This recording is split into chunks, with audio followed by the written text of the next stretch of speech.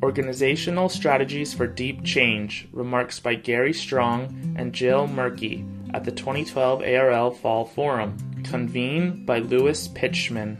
I am pleased to uh, welcome our two other speakers. Jill Mierke. Jill is the Director of Human Resources for the University Library at the University of Saskatchewan in Saskatoon, Canada. As part of the library's senior leadership team, Jill provides leadership, direction, and expertise for the management of the library's human resources. Over her 10 years with the University Library, she's contributed to the significant transformation of the library's organizational culture and workforce through the design and implementation of key people strategies in alignment with the library's strategic directions. She leads the development and updating of the University Library's People Plan which sets ambitious strategies for li- library employees and for the libraries in general. She's a graduate of the University of Saskatchewan with a bachelor's degree in human resources and holds the Certified Human Resources Professional designation, Canada's National Human Resources Professional Certification. Our other speaker this morning is Gary Strong, and I've already apologized to Gary. I cannot read his bio nearly as quickly as our colleague did yesterday morning. Uh, both speakers' bios, by the way, are in the program, and I will be brief. Gary's been UCLA University librarian since September 2003. He previously served as the director of the Queensborough Public Library and was a state librarian of California where he was the chief executive officer of the California Library Services Board and established the California Research Bureau. At UCLA, he serves on the Council of University Librarians, the UC Press Board, the Information Technology Planning Board, and the Advisory Board on Privacy and Data Protection, as well as a number of campus level policy groups. He's been president of a number of library organizations and has been widely honored and recognized by our profession. In preparation for their presentations, our panel has been asked to talk about the organizational strategies that they've used at their institutions to bring about change and the impact of these changes on services, programs, and staff. They've been asked to talk about the critical issues they've addressed that have resulted in significant rethinking and transformation. Some questions were shared with them to consider for their presentations, and those were Why was transformation critical in your organization? What were the triggers? What has been the impact of the changes that have been implemented? What, have been, what has been your role as the director in bringing about deep change?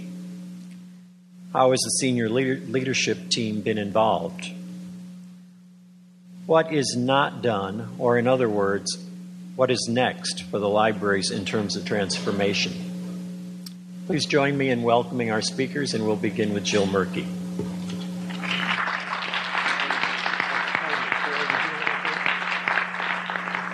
Excuse me, Gary Strong will be our first speaker. It's all about how we cope with change, you see. Um, it's a real pleasure to be here and to have a chance to uh, share a few things with you this morning uh, about the changes that have been going on at UCLA over the last nine plus years.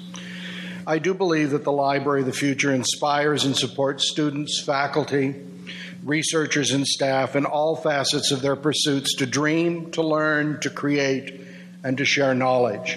And that has been the driving uh, drivers, if you will, behind the changes that have been going on at UCLA. It is about shifting our focus away from an internal looking, which is good to do, to an outward looking of how we engage our users and our constituencies. If we frame the future around that, we think in the context of our collections, the research uh, role of uh, the university, about teaching and learning, about space and place, and then about the strategies that we will engage to move us forward. In the context of, uh, and that's the framing of our strategic plan over time, uh, which has now we look at as a process, not as a document. And I think that's the other fundamental piece about how we have uh, moved to incorporate what we do into the fabric of the library and of the university, I hope. If we look at our research collections, we are about transforming the research collection. Uh, when I came to UCLA, uh, we had about seven and a half million volumes, just as a frame of reference, and I leave uh, with about ten and a half million. And uh, a part of that is we haven't acquired all of that. A piece of it is that we've really looked hard at getting all the stuff that was in the basement and in the closets exposed. Looking at what uh, the value was of the information and knowledge that resided in those backlogs and blowing it open. Uh, Jim Billington used to say he wanted to try to figure out how to get the champagne out of the bottle. Well, we make wine in California, so, uh, or in beer, I guess. Making our specialized collections more widely available and supporting and advocating change in the scholarly uh, publishing process. And it is about looking, uh, I hope someday the University of California will adopt an open access policy. Uh, we've continued to operate and push forward on that basis. We regularly engage. Uh, we're working on a set of forums right now with our um, with the full academic senate and the library committee the Vice Chancellor for Research, and the Provost, and we are uh, taking the lead from a presentation at ARL last year. We're putting forward an open access teaching initiative, uh, hopefully by spring.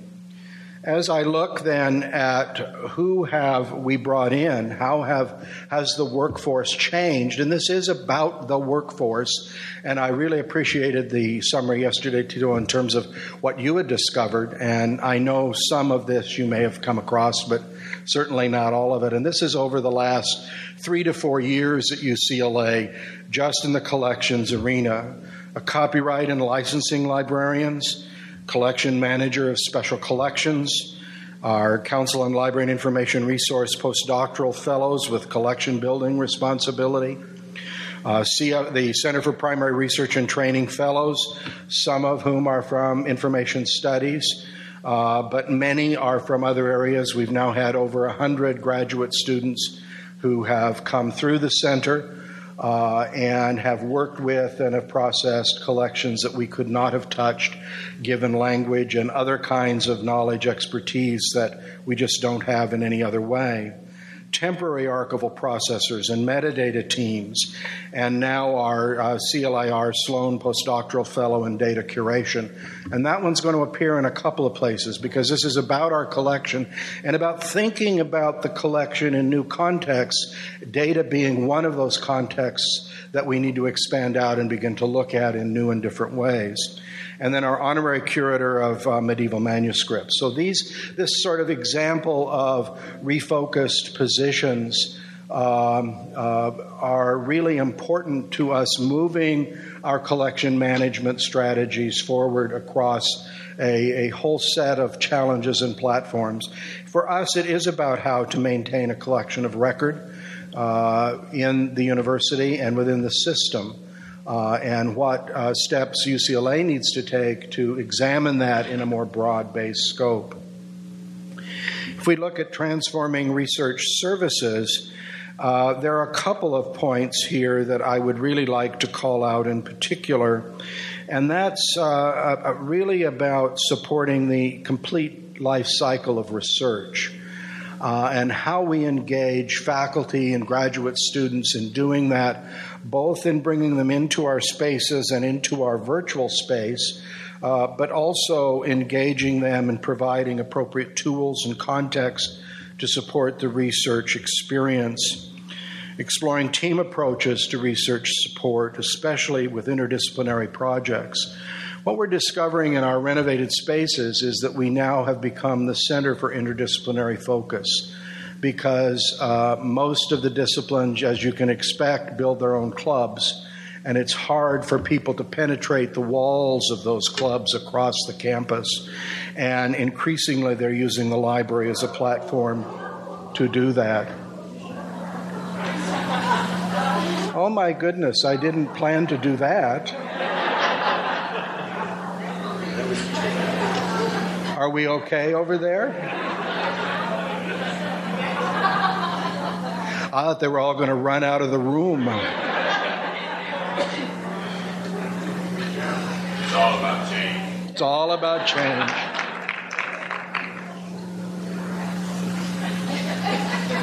I'm almost afraid to say another word.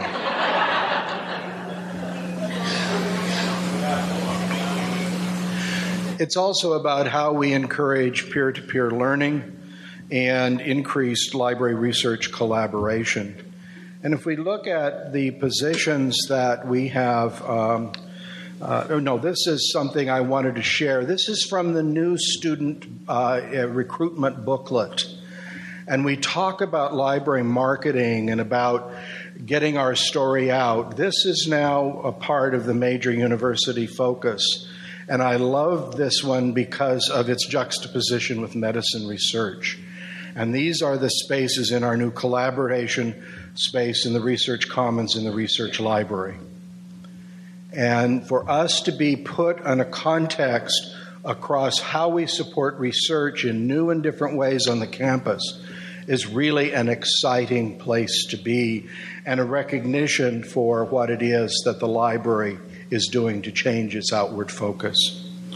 If we look then at some positions new again, the librarian for digital research and scholarship within the research libraries, the librarian for advanced research and engagement. This is a person who is now looking outward and building liaison responsibilities. The digital research and scholarship librarian is someone who brings in and works with faculty in our spaces and builds the bridges across to our collections. What we've found is that many of the digital humanists that are now using these spaces, and increasingly in the sciences, that they're really interested in the artifact as something that students can hold and look at and then move into the digital arena to begin to uh, manipulate and work with those things. Again, our postdoctoral in data curation, who is the Sloan Fellow, is beginning to look at how to uh, build electronic notebooks for research, and that will be one of her major projects uh, over the next period of time. And then we have also a postdoctoral fellow in digital innovation that is working with us to, to look at how do we bring in these massive new databases. We just added the uh, Communication Studies Archive, which ramped our digital library from about a million images to 9.7 billion images overnight. And the ability to search those against the captions that are embedded within those images. And then how do we do data mining and research around that, not to just look at the broadcast, but to look at events occurring particularly as a part of our Collecting Los Angeles initiative.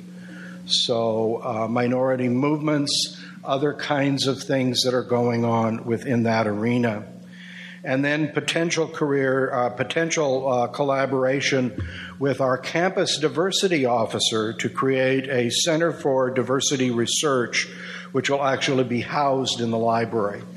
And looking at uh, diversity as it affects all across the campus. Uh, if we focus on teaching and learning, and I know there were references made this week to the importance of digital, um, excuse me, uh, information literacy, but we have really wanted to move beyond uh, that role to look at the entire student experience. Fostering a spirit of inquiry and analysis across uh, through engagement with primary sources.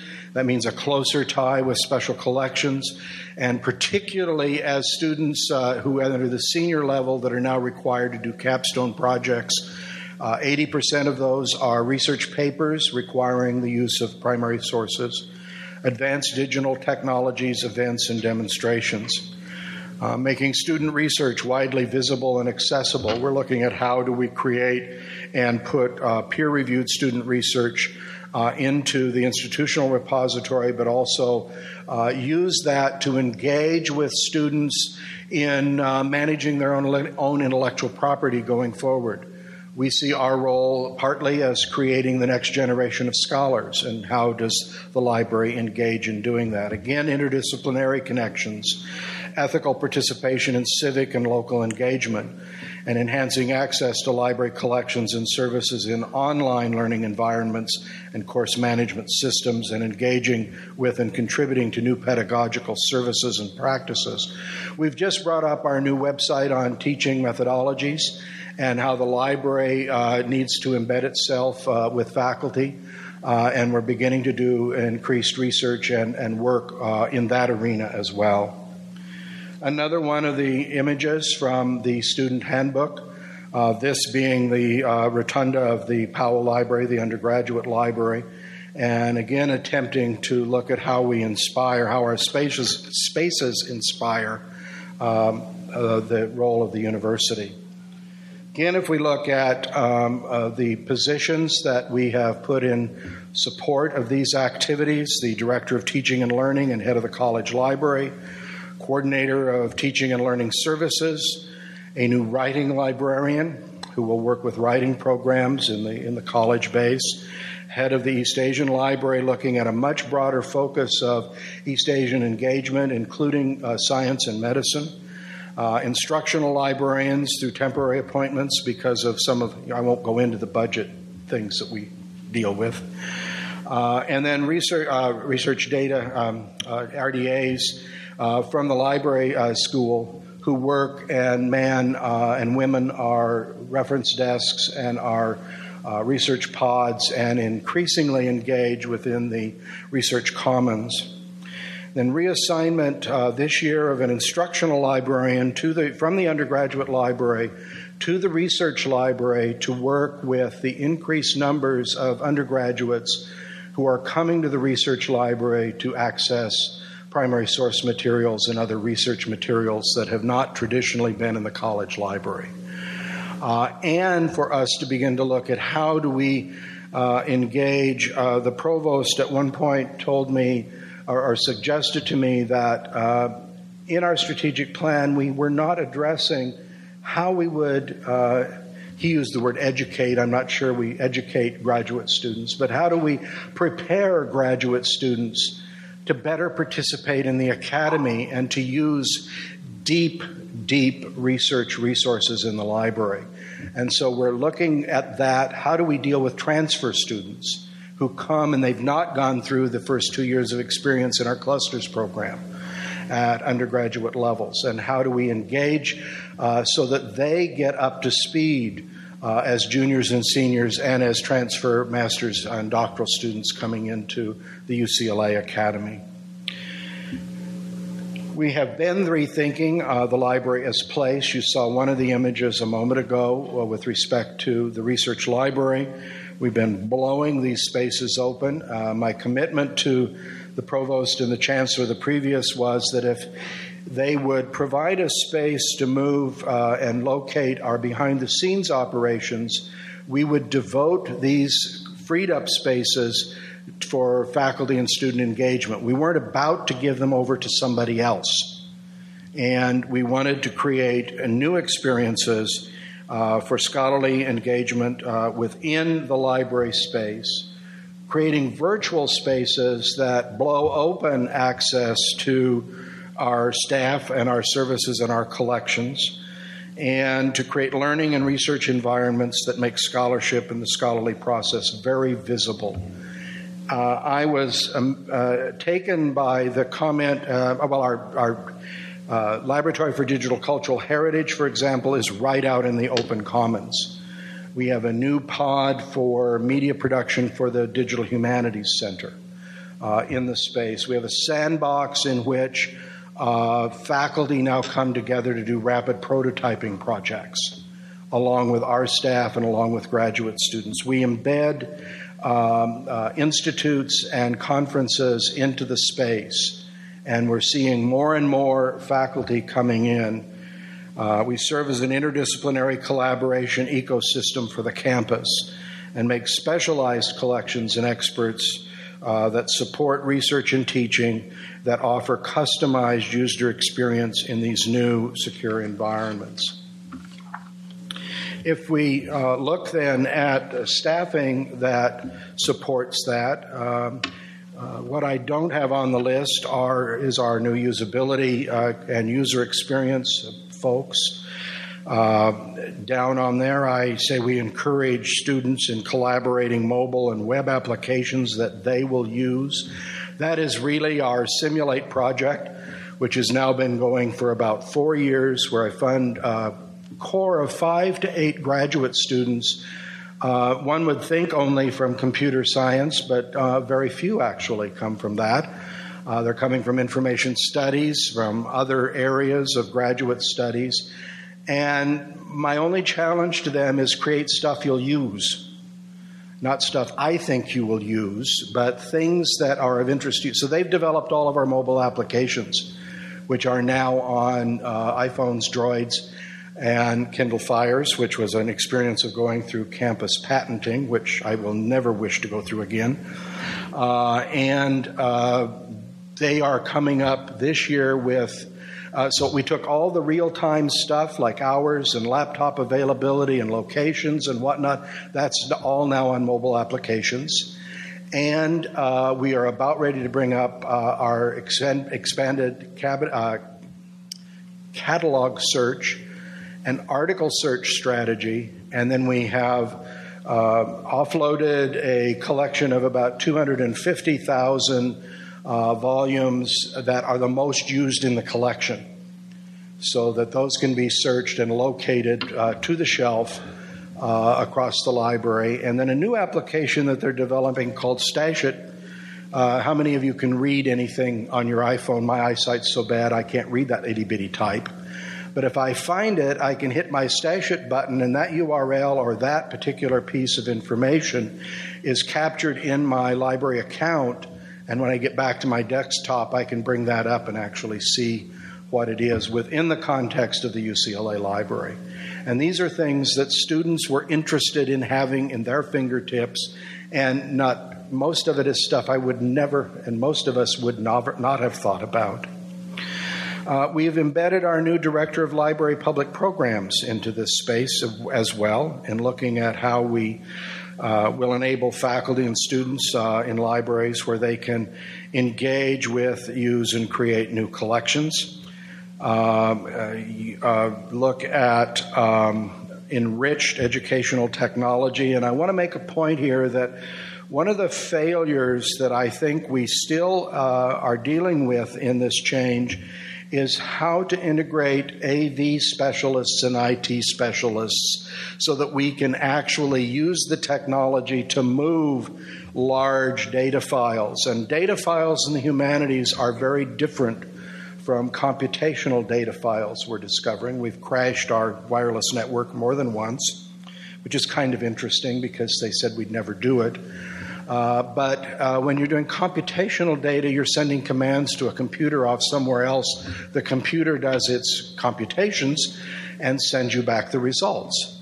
When we're doing uh, visualization of the Roman Forum, for example, and we're building avatars within that space, and we want to send it from the space, the laboratory where it's being created, into the presentation space in the same building, this is like moving a Mack truck across the central lobby and uh, it takes either a lot of time or it crashes completely.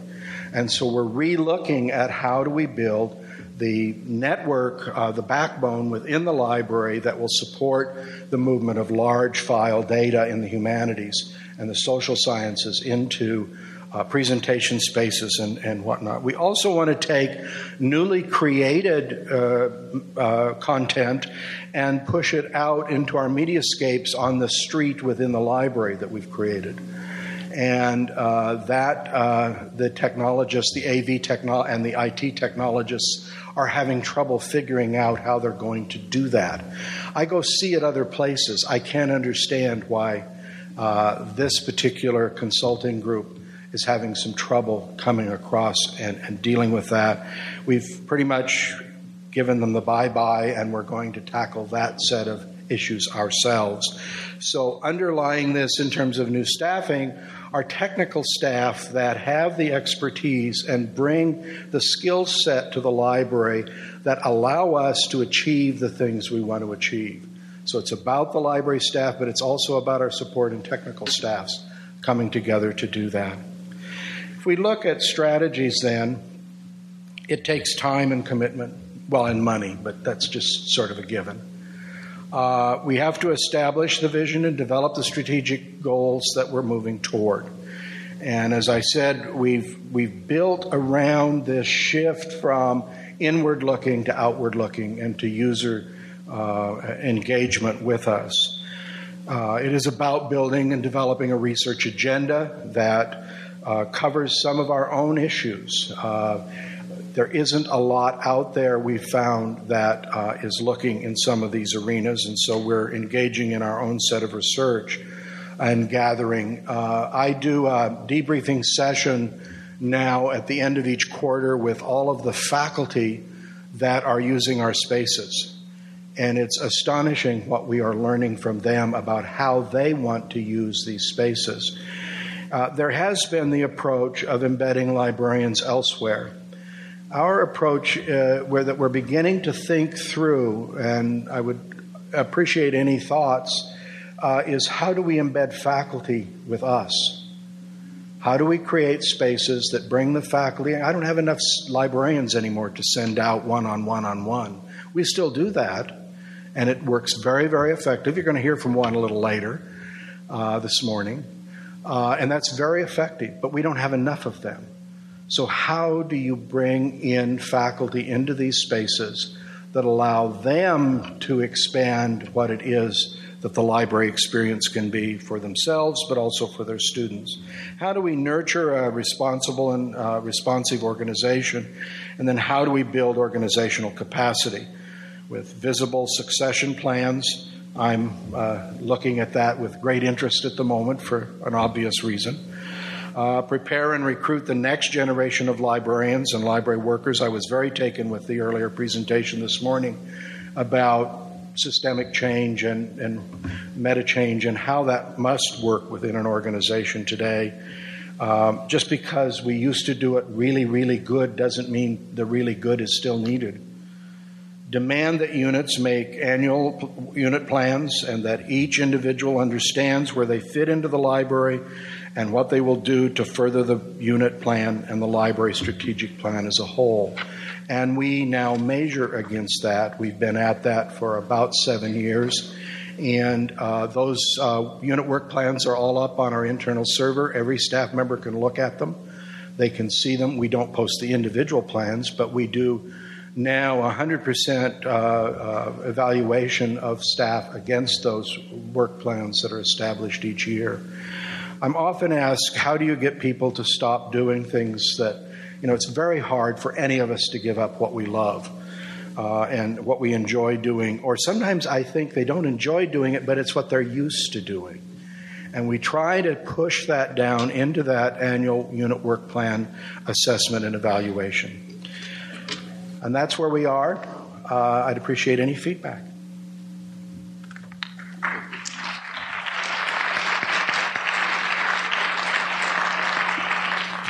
All right.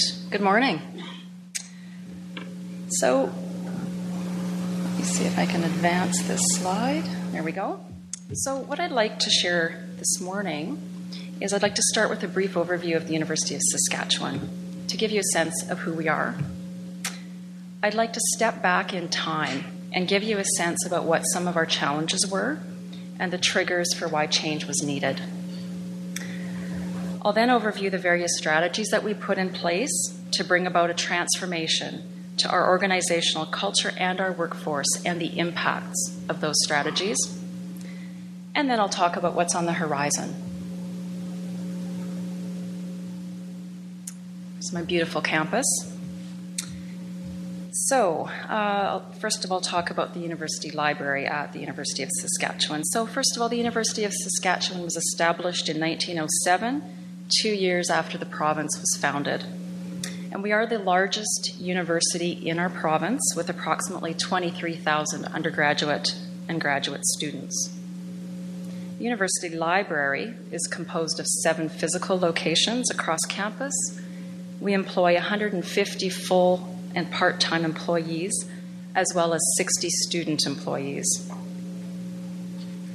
And these are some of the photos of our locations. The picture at the bottom of this slide is actually uh, a drawing of our new Health Sciences Library, which is scheduled to open in the spring of 2013. So, the year 2006 marked the arrival of a new leader at the University Library, Dr. Vicki Williamson.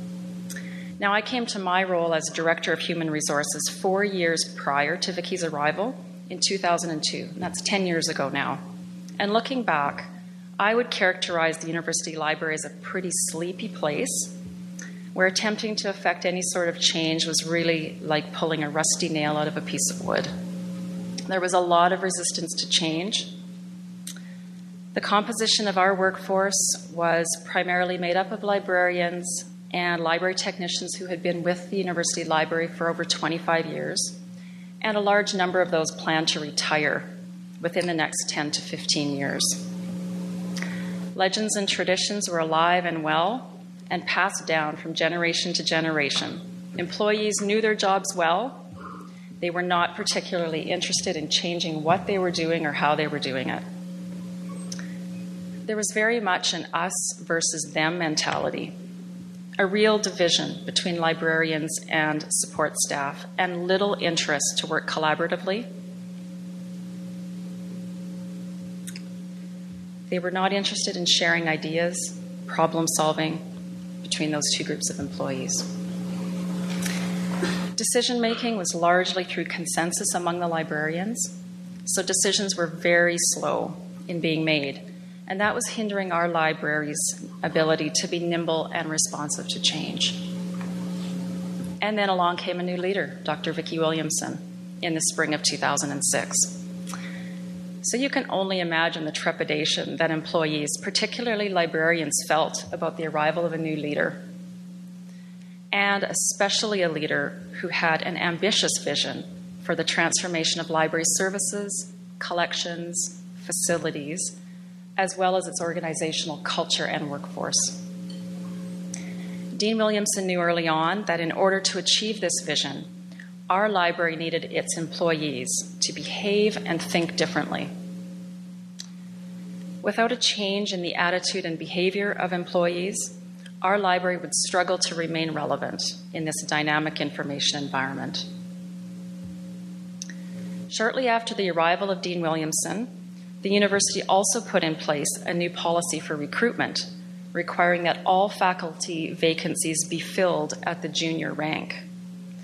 This meant we could no longer recruit externally to fill our management positions. We therefore needed our librarians to step up into these leadership roles but overall, our librarians did not feel equipped to do so.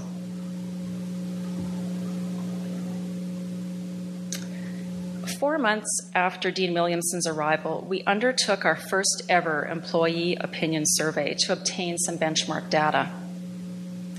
72% of library, library employees participated in the survey.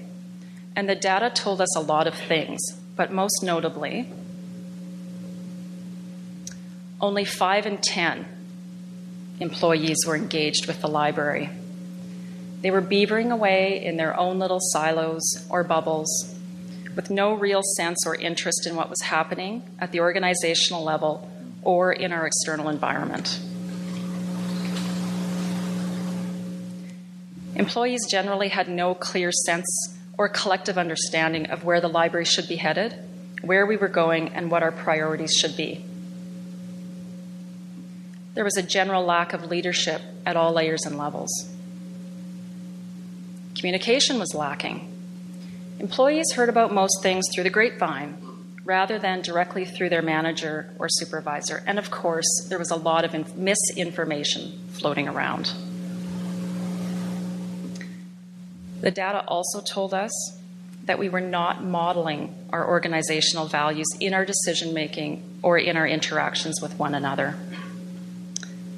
The data reinforced for the Dean and I the necessity of putting in place some very deliberate people strategies. And we used the data in our communications with employees to highlight why these strategies were needed. So, what did we do? Well, we started with the development of a three year people plan in 2009, which we've just updated this last spring. And that resulted in an inspiring vision for our people. The vision is we pursue excellence by learning through discovery and inquiry, being exceptional practitioners and scholars, not mediocre or average, exceptional. Embracing creativity, innovation, and risk taking, and demonstrating outstanding leadership. And there's a URL, URL there to our uh, people plan. Now, within the people plan, we identified four core strategic areas to focus our efforts learn and develop, relationships and collaboration, appreciate and celebrate, and conversation and communication. And within each of these four areas, we identified actions that we would take over the coming years.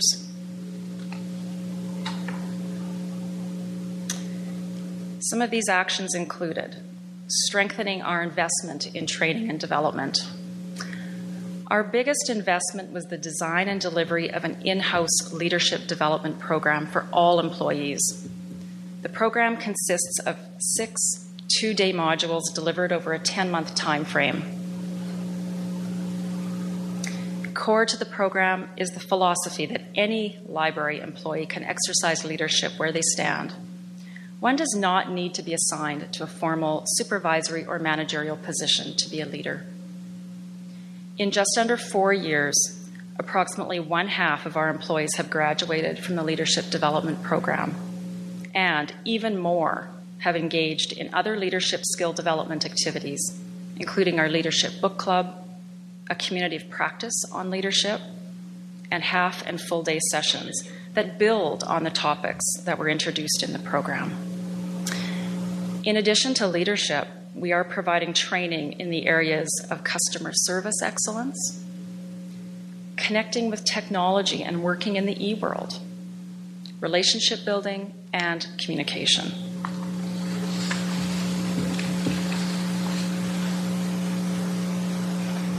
We've been having conversations throughout the library about our organizational values. What do they mean to us? And how can we live the values in our daily work and interactions with one another? We are making the values real rather than just words on paper. We have put in place robust communication strategies to ensure that employees are receiving information and news in a consistent and timely way. We have done work to articulate the accountabilities and level of authority vested in our management positions. This includes the creation of job profiles and discussions with librarians in these roles to ensure a shared and common understanding of what is expected. We've adopted a project management methodology for use with all major projects, and this has helped to identify clear accountabilities and has fostered teamwork and stronger communication across library branches and units.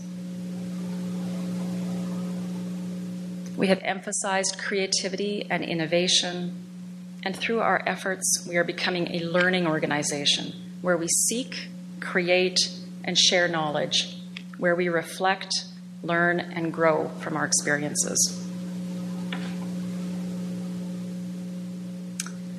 So, what has been the impact of all of these strategies?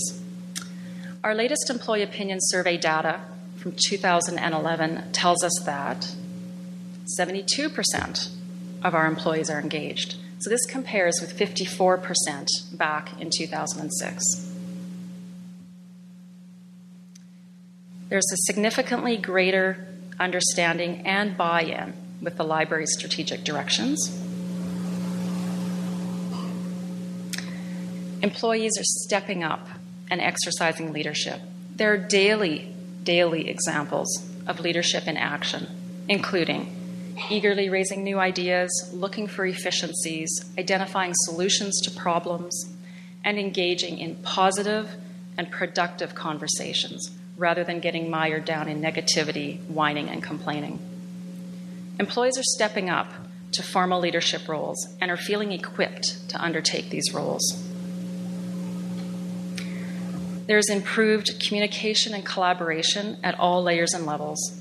People are talking, sharing ideas, and valuing perspectives. The silos have broken down. The us versus them mentality is less prevalent and seems to remain only with a dwindling minority of people. Teams are functioning more effectively and are forming organically. There's a greater commitment to lifelong learning and the understanding that as library employees, we are expected to continually learn and develop our skills and our expertise in order to remain, in order for our library to remain relevant in this dynamic information environment. There's a greater focus on client services with a customer service vision of delighting our clients. And as a result of our investment in employee development, employees are more self aware of their personal preferences and styles and are more aware of the impact of their behaviors on others.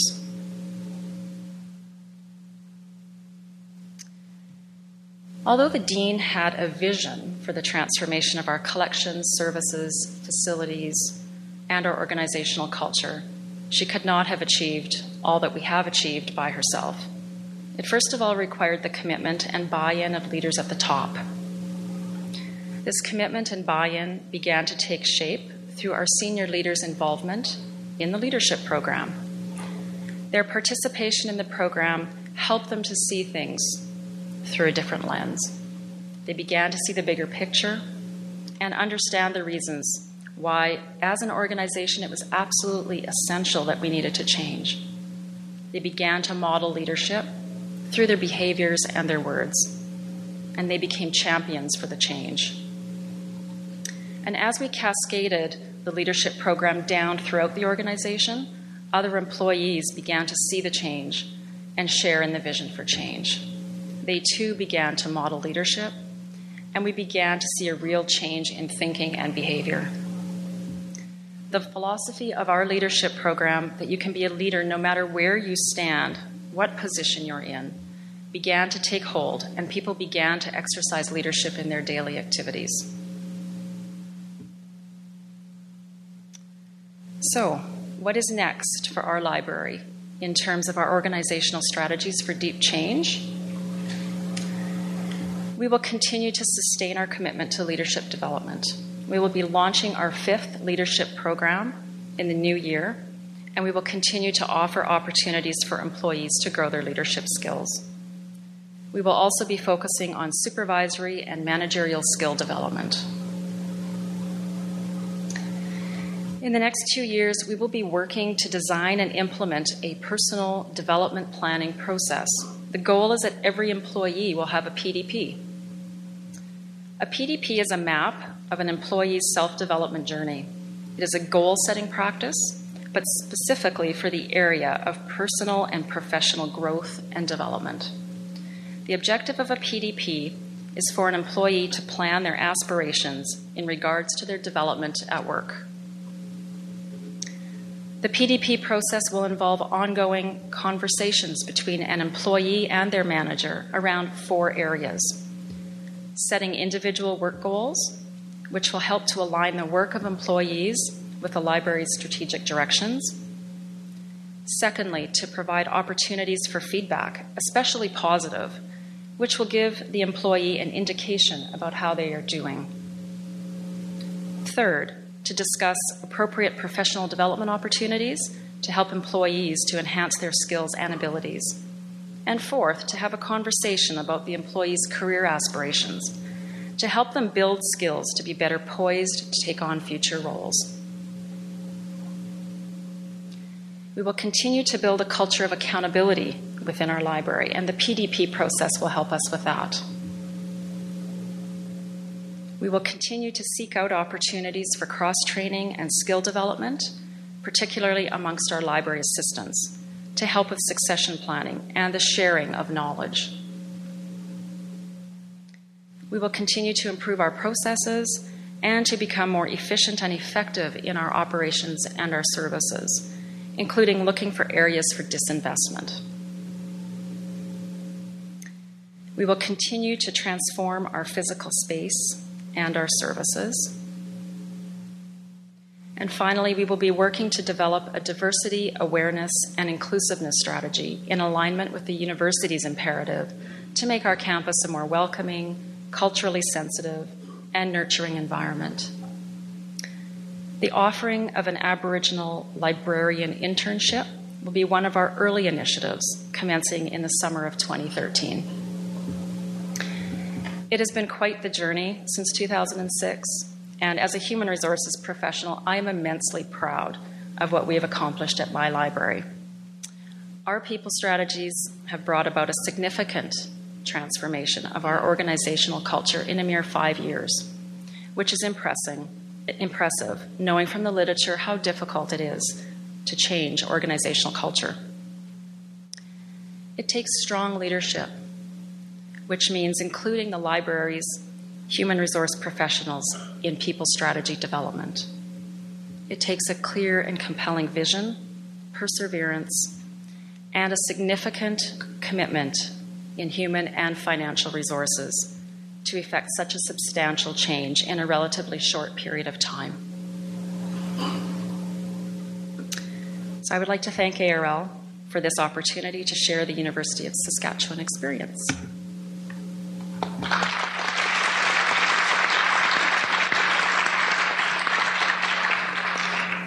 I have to say, Jill and Gary, you make it sound both so easy and, and so inviting. I, I, envy both of you. Maybe if you have any vacancies, you'll let us know. But uh, it probably has not been an easy road. It has not been a, an overnight experience. Uh, I'd like, with that, I'd like to open up the uh, floor for questions and comments from others. Anyone? Well, I'll start with one, and that is our previous speaker talked about the transition from uh, clipper ships to steamships. So I, I, guess I have a question for both of you. How did you avoid moving from a clipper ship to a Carnival Line cruiser? Um, you know, I think I think the start for us was our strategic planning process. Um, when Vicki came, you know, it signaled a very deliberate um, attempt to put in place a robust strategic planning process and not a process that was going to develop a strategic plan that we would put on the shelf and dust off every year. It signaled a very different way of working. Um, I think people in our library were probably skeptical to begin with, and were taking more of that sit back and let's just see approach. Um, but really, I mean, we aligned our resources with our priorities, and if something was not in our strategic plan, it was not going to get funded. So um, I think it took some time. It probably took about two years for people to, to kind of get that concept. I would really echo that, that uh, the context built on a planning process uh, that leads toward change or that change is embedded within um, you know, I don't know whether we're on uh, a clipper ship or the Titanic and we're merely rearranging the deck chairs, but uh, I think we're still afloat. And we're floating better than we've ever been, even in the context of facing tremendous reductions and cutbacks. And a part of what I would, I would say about that is that as the campus, we had to, to do some things along the way to sort of wake up the campus. The most significant was cutting some hours. We eliminated Saturday, for example, and we eliminated our 24 hour spaces. Uh, not just as retaliation, but we really didn't have the campus resources to continue to do those things. We'd cut uh, all of the behind the scenes stuff we could cut. We'd consolidated. We'd merged. We'd done, uh, you know, we'd we brought interlibrary loan units together. We'd done a lot of those things, and it was finally time to say, you know, enough. We've tortured the staff into these new changed arrangements virtually overnight, uh, and it was time to do something else. And it was interesting in, in, in, our campus situation where the student leadership came, they're all political scientists. So they came and sat down with me, and when we talked about where our budget came from and strategies about how to restore some of that, they took the campus leadership and went directly to the chancellor. Uh, the chancellor put up some money, a parent donor put up some money in that immediate year, particularly to restore the 24 hour access. And the students put up $25,000 out of their own money, out of the campus uh, ASUCLA funds. And that brought us to a campus level discussion that it's cheaper to invest in the library than it is to, uh, to support, if we were raising tuition, which we did, that there needed to be some payoff back to students out of that increased tuition. And uh, it was cheaper to do that than to outfit another science lab, frankly. Uh, and the chancellor and the provost reinvested in us, and we not only restored the hours, but we brought in additional money to support student uh, user services. And that began to raise this discussion then um, to a higher level at the campus, that the library wasn't just sort of a hidden closet away, that there was real need to uh, support and engage.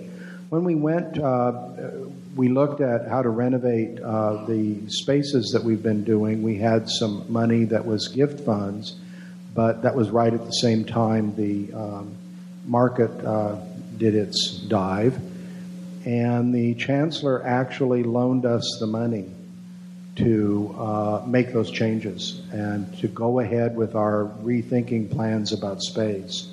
And we have to pay that back, but they have forgiven the interest, interestingly, um, which is not uns- insubstantial. It's a fair amount of money.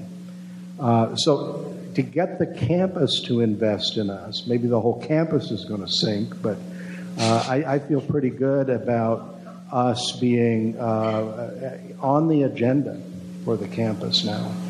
Um, I think you know we started by talking about innovation and creativity within our leadership program and giving employees the challenge to talk about how could we as a library be more innovative in our services um, in how we do our work and, and talking about innovation and creativity. So it started with more of a brainstorming exercise. Um, we've also offered sessions, training sessions, right in the workplace. So for people who cannot or did not go into those leadership programs, they at least could join in and have conversations about creativity and innovation. And also back at the workplace, so within you know the teams at each of our libraries, again having discussions um, whether those are facilitated or just led by the branch head, about how could people be more innovative and creative. Um, so I think it was just about dialogue, really, and just encouraging dialogue and making it um, well known that, that that's what we want from employees. That's what we expect. We want people to be innovative and creative and think outside the box.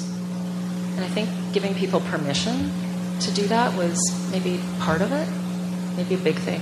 That's always an interesting uh, context, uh, you know, success and failure in the same breath.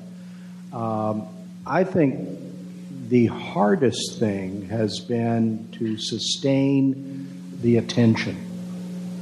Uh, and if anything, that has been the most difficult. I mean, when we first started the planning process, we had a lot of people very interested in participating now because some, they could sense something was going to be different. And so the success was we got it done.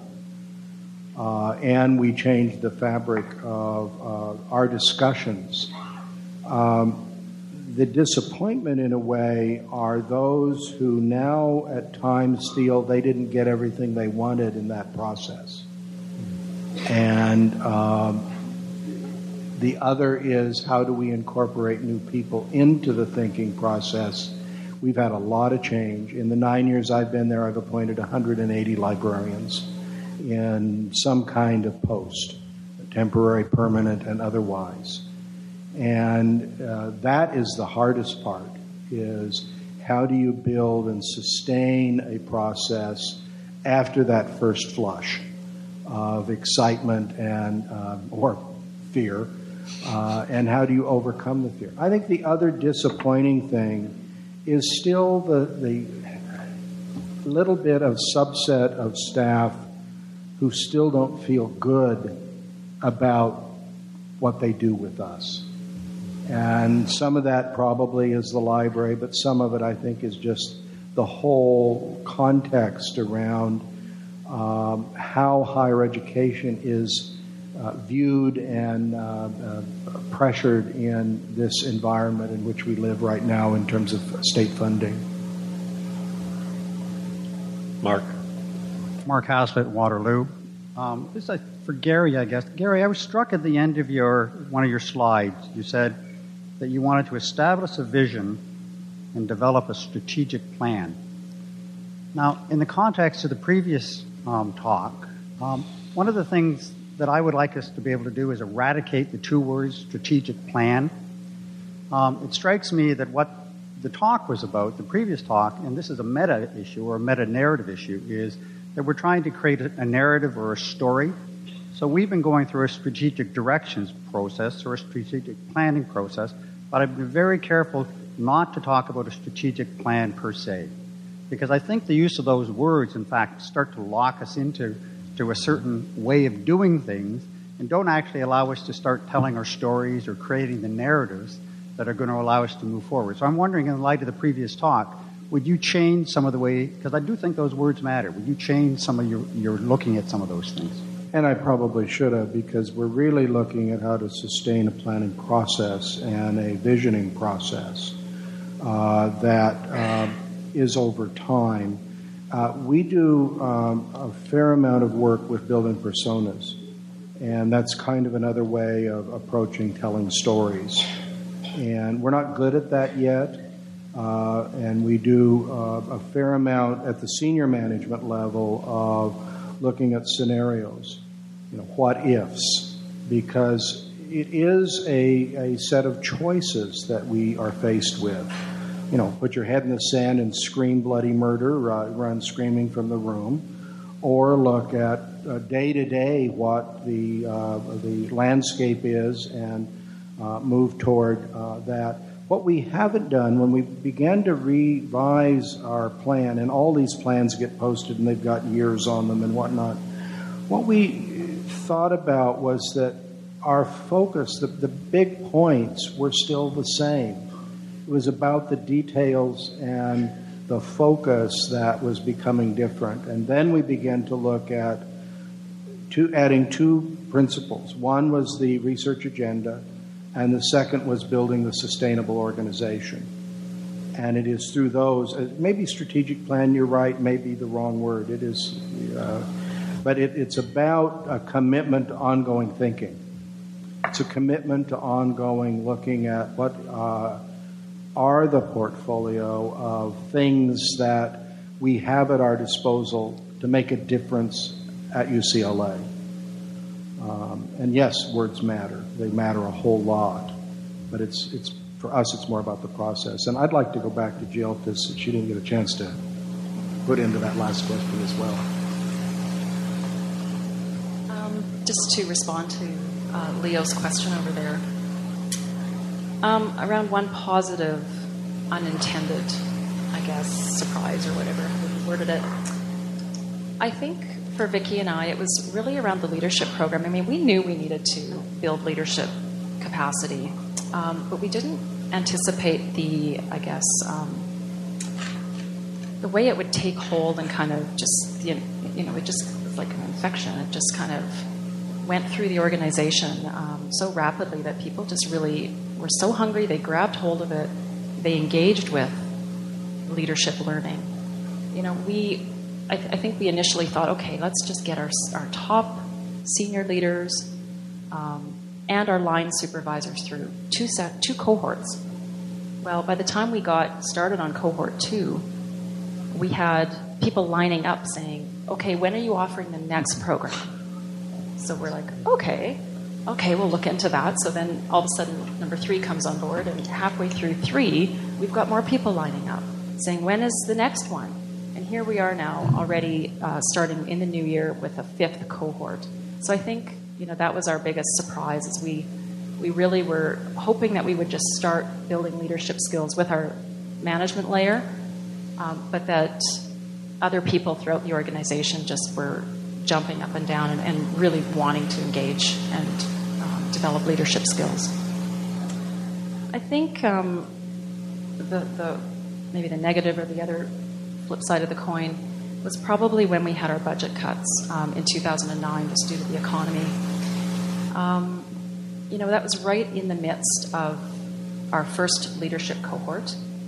It was right in the midst of our first uh, people plan as we were developing it and going, oh my God, you know, we're trying to affect some significant change here and we, we're going to have to lose some positions. And we know that morale is not going to be the best. And how do we, how are we going to ride it through? How are we going to come up um, in a better place at the end of this?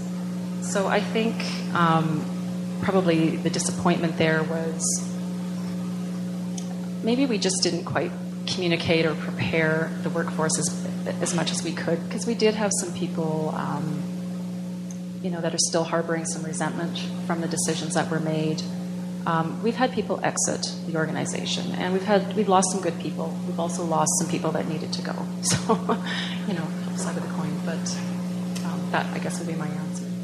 I'd like to uh, comment on that last in, in terms of uh, the, the change and We've actually had a couple of folks as well exit the organization. Um, one in particular in protest over the appointment of a unit head. Well, fine. Uh, and that, you know, I wasn't overly crushed. Uh, I'm sorry to see that person leave the organization with the feelings that they did. Uh, on the other hand, um, you know, the question that hasn't come up in this session yet is the, you know, of all those positions I put up, how many of them are true MLIS folks? And I could divulge that, I guess, if someone is interested. But uh, we're looking more and more and more at the range of talent we can bring into the organization with fewer and fewer positions uh, available to fill. And my preference always is finding uh, someone with a library background.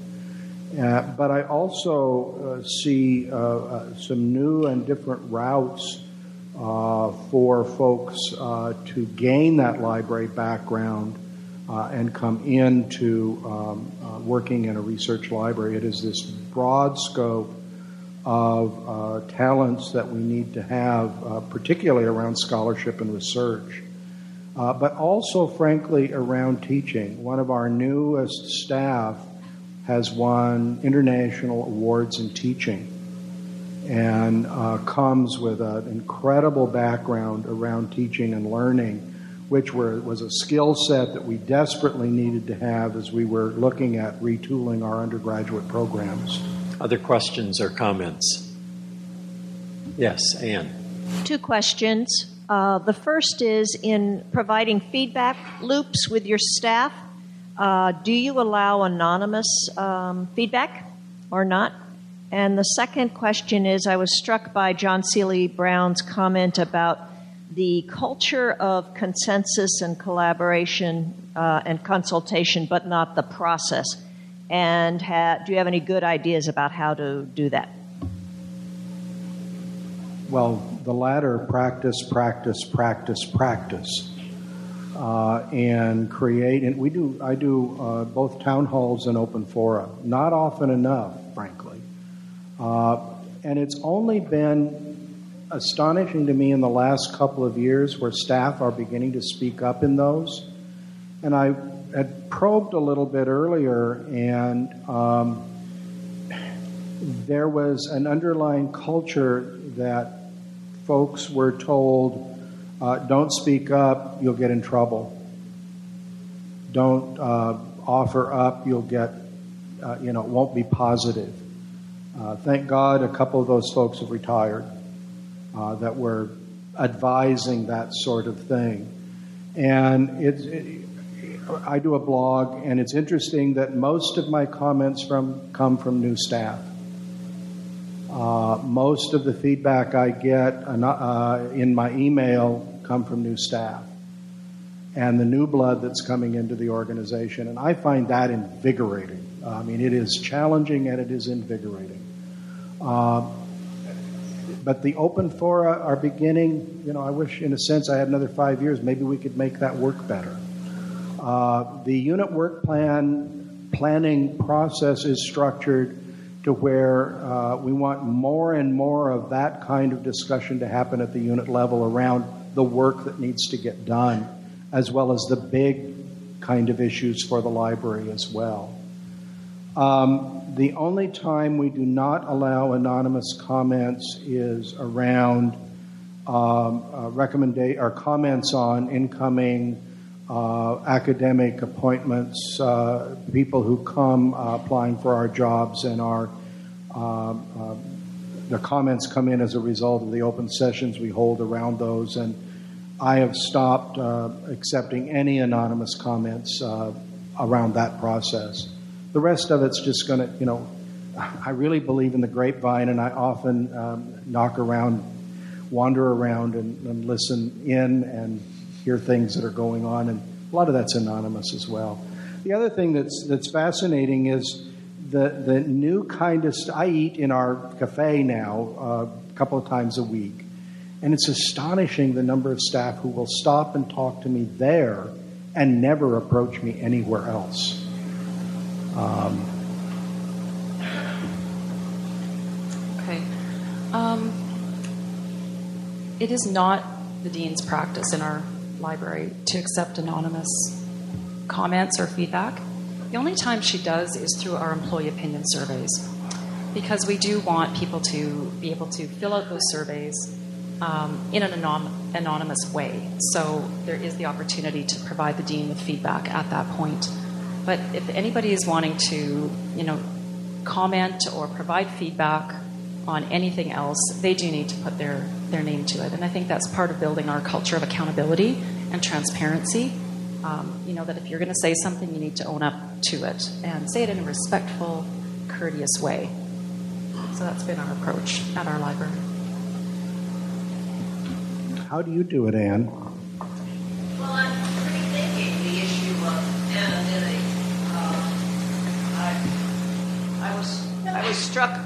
Earlier this week about the comment that the student newspaper, what is Yes. it, at UNC, no longer allows anonymous comments. Um, and I do think that while it can provide an opportunity for someone who has a fear of speaking up to add their comments, it also is a, a breeding ground for a lot of disproportionate discontent uh, representation around comments. So I'm wavering back and forth about that.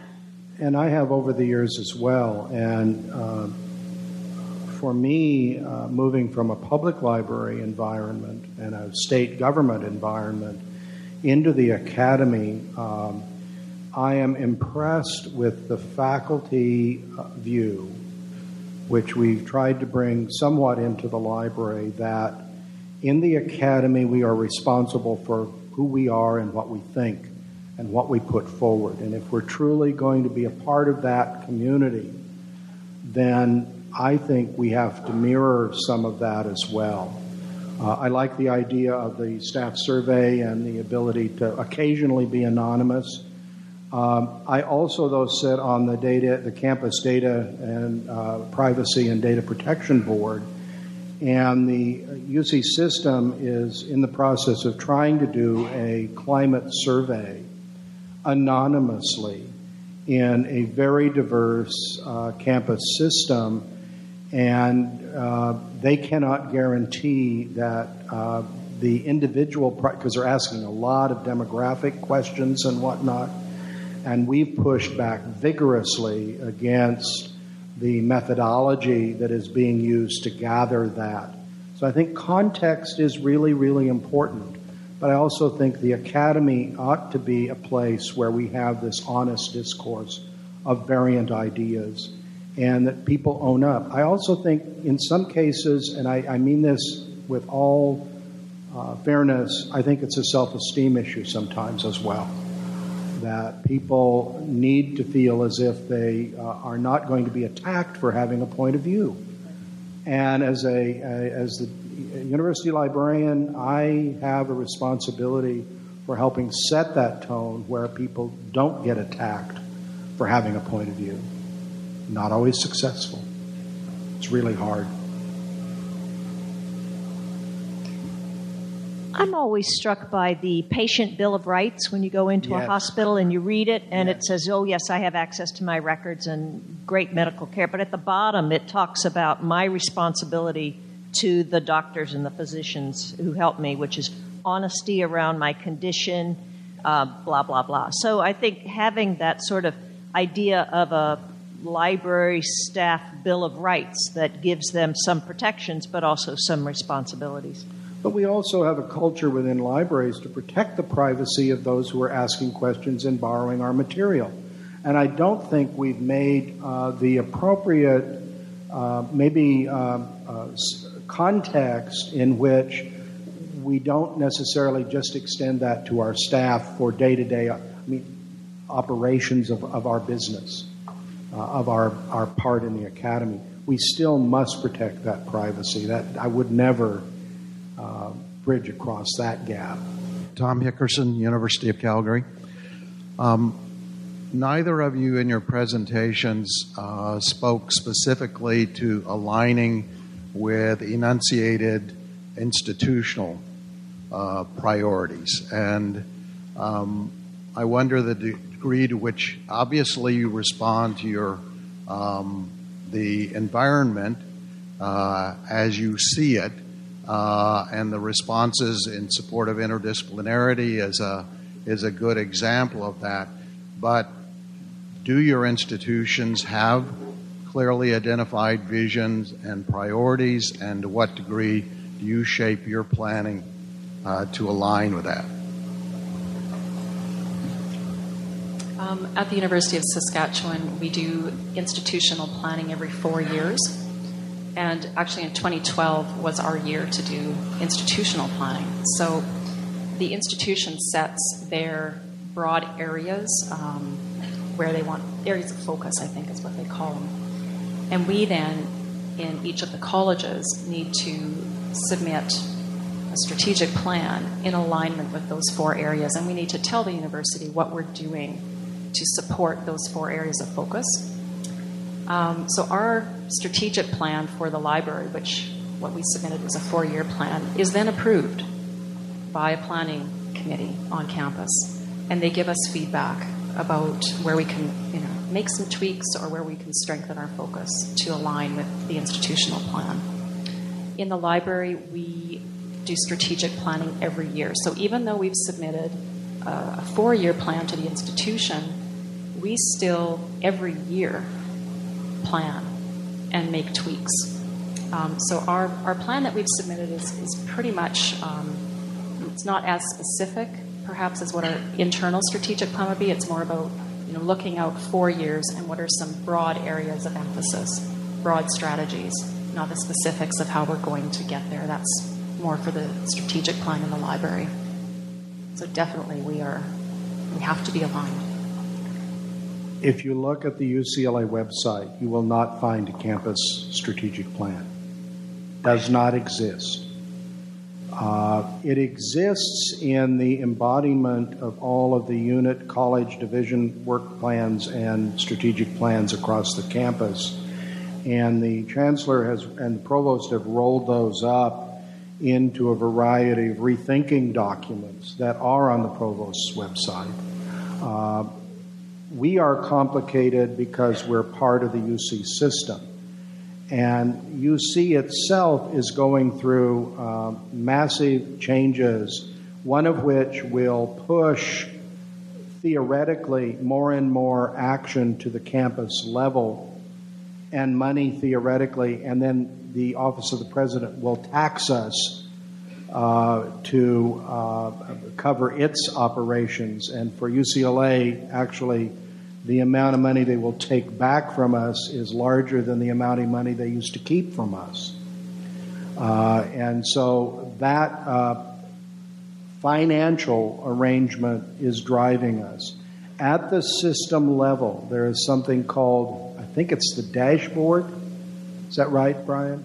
Uh, the dashboard. That is this huge aggregate, deep uh, pile of tables that are available to the regents uh, and others then to look at every sort of aspect. The libraries have an itty bitty chunk of that in aggregate. And so ours is complicated by the fact that we are individual campuses trying to survive on our own, and the system that lays down, uh, and the, the new, is it Work Smarter initiative? I can never remember the, the Work Smarter initiative. Thank God most of the Working Smarter attention has been paid at Berkeley, not at UCLA. Um, you know, we're kind of south, so it takes a while to come down, and then you run into the Tehachapi Mountains. And Brian's in even better shape because he's clear down in San Diego, and uh, Lorelei's in Irvine, and that's sort of off the 405, so you don't quite get there either. So it, it's really, I wish in a way there was clear direction, uh, but we're all so terribly different in terms of where we are, in terms of the programs we offer, uh, the degrees we offer. I think we have time for one more question. Was there one over here? I think, Gary, if you could tell us very briefly a little bit more about the non MLIS people you have mm-hmm. hired. You alluded to that, but I think you withheld something. Well, um, like for example, how others have well, encouraged you to move with the context. Uh, we hire strict librarians strictly under the Memorandum of Understanding, and the Academic Personnel Manual. And within that, uh, li- the qualifications for librarian are the MLIS or equivalencies. And uh, at UCLA, every librarian appointment I make also goes before our internal Committee on Appointments, Promotions, and Advancement. So there is a peer process that looks at the appropriateness of the individual and their qualifications to be appointed as a librarian and the rank into which they can be appointed. So, with that context, um, we have appointed, uh, if you looked at that list that I put up, uh, the new head of the college library and the director of teaching and learning all come with doctorate degrees in other fields. One of those, the, the new head of college, however, was a CLIR postdoctoral fellow with Karin uh, Wittenberg at the University of Virginia for five years uh, there, and so comes with that kind of background. Our new head of the collections research uh, services at the research library was a postdoctoral fellow with UCLA and comes out with uh, PhDs and degrees uh, that are relevant to the research structure uh, our librarian for digital scholarship comes out of the digital humanities, uh, but also with a great deal of library experience, uh, but not the degree. Um, the uh, user experience person uh, is uh, also uh, one that comes out of the IT and web services field. we're not getting enough graduates, and we recruit internationally for some of these positions uh, if we want to make the changes. Um, and that's, you know, all of those have stood uh, through the process of uh, selection through searches and uh, then ultimately a recommendation uh, from the internal capital. So uh, it, it's, it's a factor that's there. Um, we just don't have sufficient training streams within California to fill the jobs we need at the levels that we need them in the research library arena. I've been given the high sign that our time is is up, which I regret since change in academic and research libraries I think is not only the biggest challenge we have, but perhaps the most interesting issue we deal with on a daily basis. Please join me in thanking our speakers for a very interesting program. Thank you for listening. Music was provided by Josh Woodward. For more talks from this meeting, please visit www.arl.org.